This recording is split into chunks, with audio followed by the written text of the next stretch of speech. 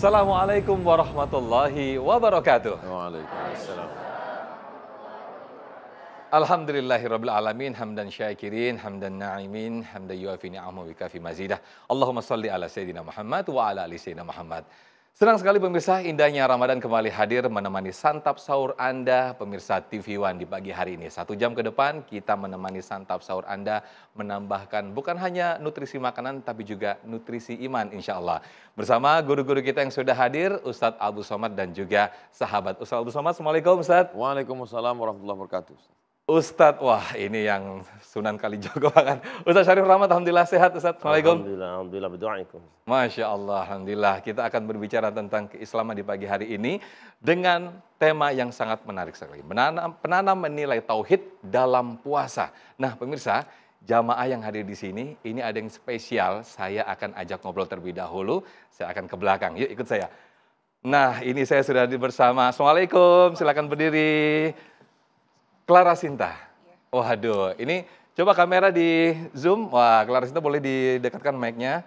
Ini siapa yang nggak kenal ini? Ini ada salah satu sosok yang sempat viral kemarin ya, yang dikejar-kejar oleh debt collector ya.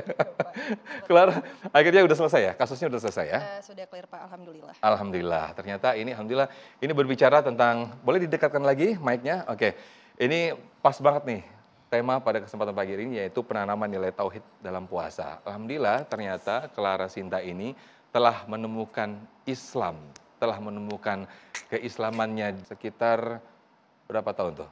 Uh, Tiga tahun ya, 4, sekitar 5 tahun empat sampai lima tahun ya. Oke, Clara bisa diceritakan ini ke pemirsa dan juga nanti akan kita bahas bersama guru-guru kita.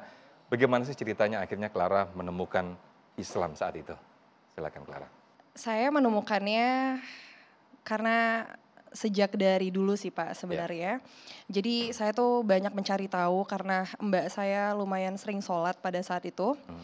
Jadi saya kayak mempelajari aja, oh ini apa, untuk apa gitu. Dan saya lihat dia tuh pegang Al-Quran pada saat itu dan saya baca, oh Islam ini ternyata agama yang sangat sungguh sempurna.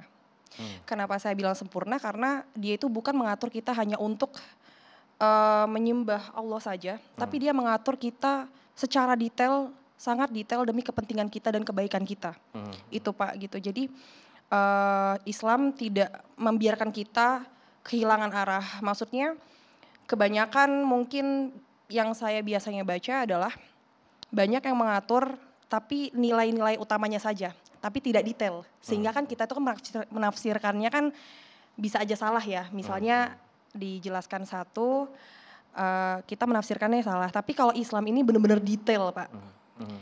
Dari bagaimana perempuan itu harus menutup aurat dan apa saja yang misalnya kita tidak menutup aurat itu apa saja kerugiannya yang bila di mana kita lihat sebenarnya itu untuk melindungi diri kita sendiri kok. Hmm. Itu yang saya dapatkan. Tapi Masya Allah. Clara hingga akhirnya menemukan Islam, tidak ada paksaan dan tidak ada siapa pun. Akhirnya, tek ini nih, ini Islam nih, saya harus memeluknya. Begitu ya Clara? Iya, alhamdulillah.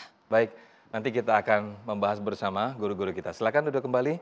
Silakan Ustadz Abdul Somad, kami akan persilakan untuk segmen satu ini dengan penanaman nilai tauhid seperti apa di khususnya di bulan puasa ini. Silakan. Izin. Kiai. Bismillahirrahmanirrahim. Assalamualaikum warahmatullahi wabarakatuh. Waalaikumsalam. Alhamdulillahi wa kafa wa salatu wassalamu ala al-habibil mujtaba wa ala alihi wa ashabihi ahli tuqa wal wafa. Subhanaka la ilma lana illa ma 'allamtana innaka antal alimul hakim. Rabbi shrah li sadri wa yassir li amri wa hlul 'uqdatam min lisani yafqahu qawli.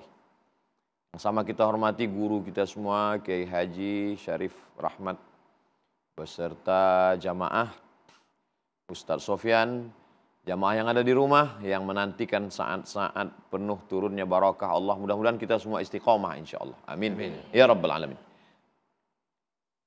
Quran, hadis, ijma', qiyas, syar'u man qablana, saddu zara'i, qawlu sahabi, istishab, istihsan, urf.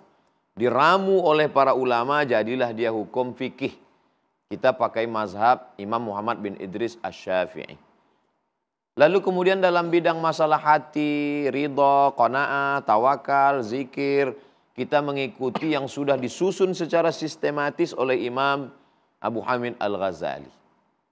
Adapun dalam masalah akidah, Kita tidak ribet lagi mencarinya, mana di ayatnya, mana hadisnya. Sudah disusun secara sistematis oleh Imam Abul Hasan al-Ash'ari.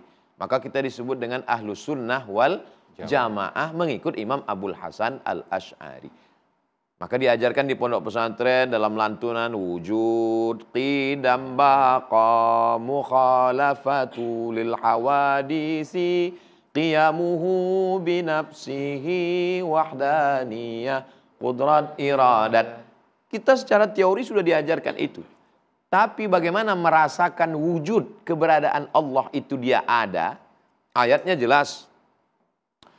Idhuma fil ghari ketika mereka berdua berada di dalam gua antara Nabi SAW dengan Sayyidina Abu Bakar Siddiq radhiyallahu an. Idh yaqulu li sahibihi ketika Nabi berkata kepada sahabatnya, La tahzan, jangan engkau sedih, jangan engkau cemas, jangan engkau takut. Innallaha ma'ana, Allah bersama kita. Bisakah kita merasakan yang dirasakan oleh Nabi dan Abu Bakar? Andai pun kita merasakannya, rasaku belum tentu rasamu. Kita hanya sendiri. Di saat itulah kita merasakan keberadaan wujud Allah Subhanahu wa taala. Padahal kalau mau, masukkan kepala ke dalam. Habis setengah bak. Keringkan bibir, miringkan kepala. Memang berat puasa hari ini. Karena kekenyangan. Kenapa kita tidak mau lakukan itu? Berapa banyak kita lihat adik-adik, anak muda, remaja, kumur-kumurnya sekali, air cuma sekali masuk, ngeludahnya sampai 10 kali. Kekhawatiran yang luar biasa. Merasakan wujud ada Allah yang mengawasi kebersamaan dengan Allah Subhanahu wa taala. Berapa lama dia rasakan itu? Dari mulai makan sahur, azan berkumandang, anggaplah jam 5 kalau kami di Riau, sampai pukul 6.30, 13 jam setengah merasakan kebersamaan Allah. Ini baru tentang masalah menahan makan. Istrinya halal. Halalan toibah, karena memang namanya Siti Toibah. Makanannya halal, minumannya halal. Semuanya halal. Kenapa dia tidak mau? Karena dia merasakan ada Allah yang mengawasi. Kalau yang halal aja dia takut, apalagi yang yang haram. Bagaimana dengan emosinya? Bagaimana dengan kemarahannya? Datang orang nantang dia. Berani kamu dengan saya. Saya ini hebat. Kalau dia mau jawab, sebenarnya dia bisa jawab. Saya lebih hebat. Saya lebih tua. Saya lebih senior. Saya lebih... Tapi saat itu dia katakan, saya sedang puasa. Kenapa? Karena dia tahu bahwa dia sedang diuji oleh Allah Subhanahu wa taala. Kalaupun saking emosinya dia akan katakan, Allah sudah lama menguji saya dengan yang berat-berat dan yang terberat ini adalah kamu. Saya sanggup untuk melawan, tapi saya sedang berada di dalam pengawasan Allah Subhanahu wa taala. Merasakan keberadaan Allah itu amat sangat dirasakan oleh orang yang sedang berpuasa. Makanya orang beriman dilatih saat sholat dia sedang merasakan kebersamaan dengan Allah. Dari mulai akwalun ucapan membaca al-fatihah. Wa af'alun perbuatan tegak ruku sujud tasyahud. Mufattatahatun bitakbir dibuka dengan takbiratul ihram. Allahu akbar. Wa mukhtatamatun bitaslim ditutup dengan salam. Saat itu dia tidak berani melakukan gerakan harakah ajnabiyah. Matanya tetap melihat pada tempat sujud. Allahu akbar andai gatal kepalanya sekali cuman dia berani gatal lagi dua kali gatal juga tiga kali pergi ke apotik beli obat gatal Kenapa? Karena saat itu dia sedang diawasi Allah Subhanahu taala. Puasa kita sedang menanamkan bukan tauhid menurut etimologi, terminologi, dalil, tapi langsung rasa yang merasuk ke dalam hati dan pikiran. Demikian Ustaz Sofyan. Masya Allah, terima kasih Ustaz Abu Somad ketika iman, ketika tauhid telah tertanam kuat dan menancap kuat di dalam diri kita. Fa insya Allah tiada yang lebih besar, tiada yang lebih hebat selain Allah Subhanahu wa taala. Nanti itu juga yang termasuk dirasakan mungkin oleh saudara kita Clara Sinta tadi yang telah menemukan Islam di dalam kehidupannya. Di segmen kedua nanti Ustadz Syarif Rahmat akan menjelaskan lebih dalam lagi bagaimana penanam tauhid, nilai-nilai tauhid khususnya dalam bulan puasa ini. Kita santap sahur lagi. Silakan, Fadal Ustadz Kiai Syarif silakan kita. Tidak ada Tuhan kecuali Dia. Pelurunya subhanaka ini kuntu zalimin. Semua rahasia sudah tidak bisa lagi. Di saat itulah tauhidnya berperan dan ikannya tidak punya kekuatan untuk menghancurkan tubuhnya. Dan itu yang dibawa oleh Ibrahim. Dibakar api semua bantuan siap.